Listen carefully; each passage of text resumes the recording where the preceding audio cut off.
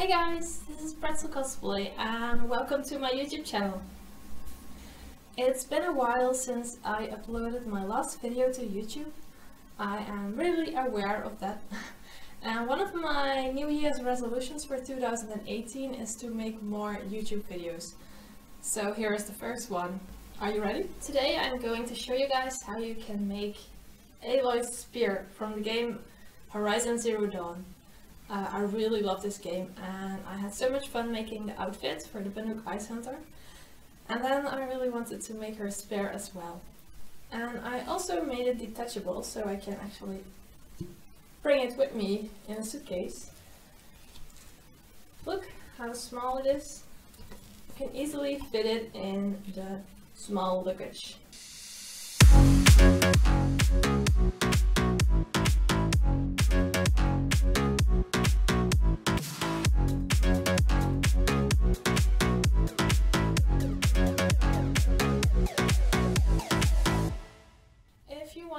More about how to uh, craft with Worbla and how to make costumes in general, then be sure to check out my books and ebooks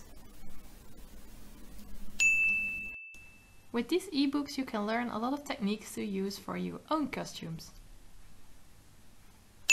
And you can also download some digital patterns on our website. So let's start! First I cut out some PVC pipe to the right length for my spear. Then I needed to shape it a little bit and for that I used my heat gun and then just carefully bend the PVC pipe so it has the right shape. And I needed two bends in it. So yeah, it's really easy to do this. Just be careful. Then I decided where I wanted the connections, drew it on, uh, sawed them at the right length and sanded the edges. This is how the connections look, they're just bigger pieces of PVC pipe. I added some contact cement to the PVC pipe and um, spread it out with a spatula. Yeah, I think it's called a spatula.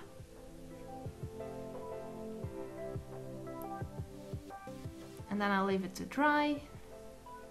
And I also added some contact cement to the bigger PVC pipe, the connector, and also spread it out with the spatula and left it to dry. It takes about 10 minutes to dry. When the glue was dried, I used a lot of force to add the pieces together.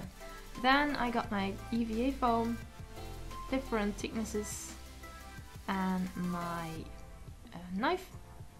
And I also used a ruler to cut some right lines. No, straight lines, not right. Language barrier. But yeah, as you can see, the foam is really easy to cut. This is actually the Eva foam from Cosplay Clues. I will put the link in the description so you can also get it. This is the 5mm thickness. I wanted it to have a beveled edge, so I just cut off a little bit with my knife and just pull it off. And as you can see, now it has a nice beveled edge. I needed these pieces of foam to give the spear extra thickness, so I added some glue on them, left it to dry, and then put the foam on top of the PVC pipe. I used some force to really press it onto the pipe. This glue is really amazing. it needs to dry a little bit before you put the pieces together, but it's, it's, it's perfect. Then I also put some glue on another piece of foam and added it to the PVC pipe to lengthen the spear a bit. Then I got some 2mm EVA foam and wrapped it around the spear so it would be really smooth. Again I used the contact glue, left it to dry and then put it on there. And to finish the edges I cut off the little leftovers so it would be a really nice finish. That would be the base to put the Worbla on later. To create patterns for the other pieces of the spear I just got my blueprint that I printed out and drew over it to create the patterns. You can actually get this blueprint in my Etsy store. I created the shape for the end of the spear by layering some pieces of 1cm EVA foam. Then I cut the shape with my X-Acto knife And to smooth it out, I used my rotary tool uh, with the sanding bit. Uh, as you can see, it works really well. This foam reacts really good to uh, the rotary tool. You can really get a smooth surface. And if you do this, you will also see this in the Worbla that you will put on top, because it just will give it a really smooth surface. I set my rotary tool on the lowest speed for this. I feel that it gives me the most uh, control over it. I use this tool for all the other foam pieces, just to give them a really neat look. It's really easy to use, just be sure to wear a mask because it's not really healthy to inhale the foam dust. And then I put all the foam pieces together and this is how it looks like. And I added some extra details to it. Then I wrapped some Worbla over it to, um, to make it extra sturdy. I covered all the foam pieces in Worbla. To do this uh, you need two Worbla pieces for every foam piece. Uh, heat it up, put it on top and on the bottom, cut it out and attach it all together. Adding details to Worbla piece is really easy. You can just cut out some stripes out of Worbla scraps, heat it up and heat up the project and just push on those details. I also use a wooden tool to, um, to make it a little bit neater and to really make the bond strong. You can also make some round shapes, just put on those lines and make them round. It's, uh, it's really easy, there's not much to this.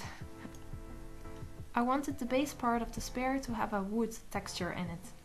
To do this I used my wooden tool to actually carve some lines in it. First I heated up the Worbla so it gets all soft and then I just carved lines to make it look like wood. I really love this technique because it actually looks like wood. And you don't need to use real wood.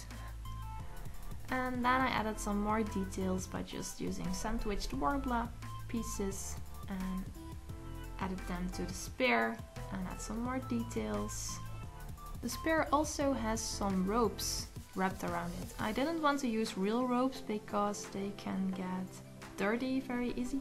So I just used some Worbla scraps and twisted them so they look like yarn and then I just wrapped them around the spear and I actually think it looks like real yarn but it doesn't get dirty, so that's pretty nice.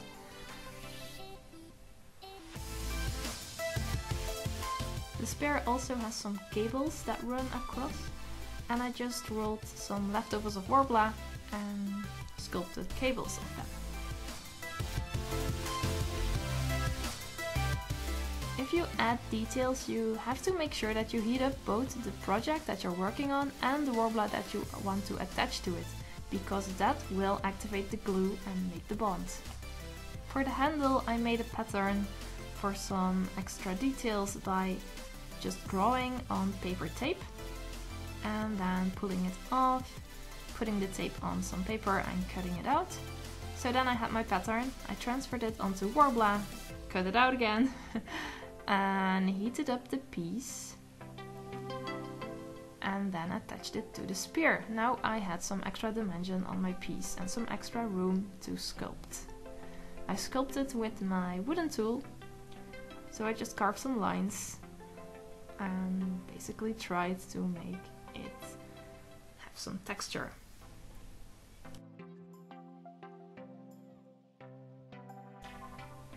The handle of the spear also has some weaving on it and I also created this effect with the wooden tools, so just by sculpting. I just carved the lines in it that I needed to make it look real.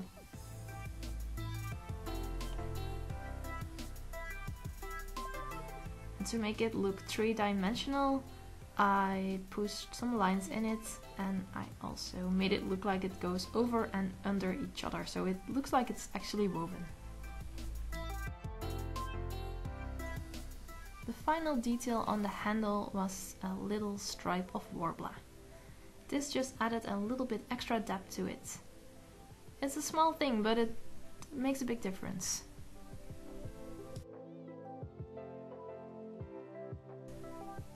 And then the crafting of the spear was done. Now it's pure white and ready for paint. I really love how the spear turned out thus far. I think it looks really cool with all the details. Aloy's spear also has some feathers attached. I didn't want to use real feathers, so I made them out of felt. I cut two pieces for each feather and then used some metal wire for the stem. I curled the end so I would have something to attach it to and then I glued the two pieces over the wire. To paint them I just used acrylic paint and I checked how the feathers looked in the game. They're really colorful and I actually really like that. So I just added paint, light paint and dark paint.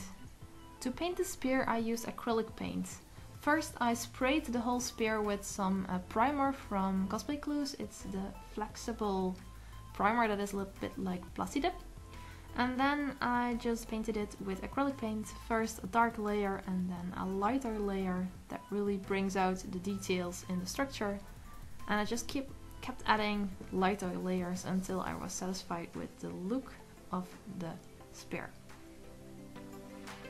I have paint all over my hands, but that's normal. Fully normal.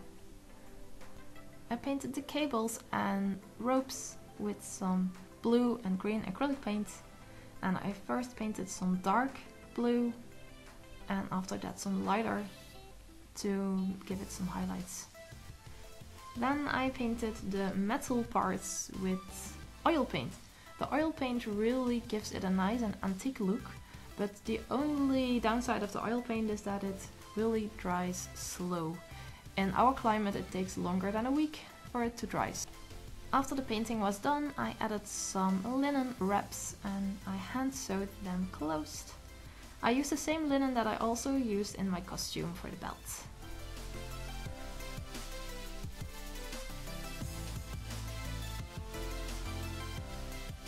I also needed a little leather band, so I put some dots on it and then pushed holes with my belt puncher. Then I used some fake suede cord to lace it through. It looks really nice. And then I just made a knot in it to finish it off and put the knot a little bit under the leather. And this was the final thing about making the spear. I hope you liked watching this.